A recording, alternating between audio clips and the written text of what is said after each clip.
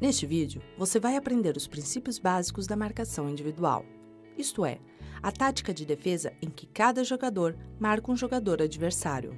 Existem três situações básicas para fazer a marcação individual corretamente: marcar o jogador com a bola, marcar um jogador sem a bola do lado fraco e marcar um jogador sem a bola do lado forte da quadra.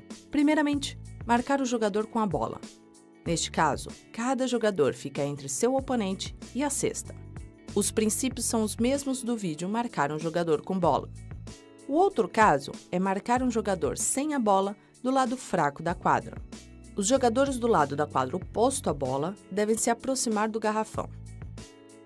Se um oponente se livra de um marcador da sua equipe, os outros jogadores podem entrar no garrafão para proteger a cesta. Você pode aprender mais sobre posicionamento nessa situação com o vídeo marcar um jogador sem bola. Por fim, marcar um jogador sem a bola do lado forte da quadra. Neste caso, o melhor a fazer é marcar com um braço e um pé na linha de passe entre o jogador e o atacante com a bola. Agora é com você.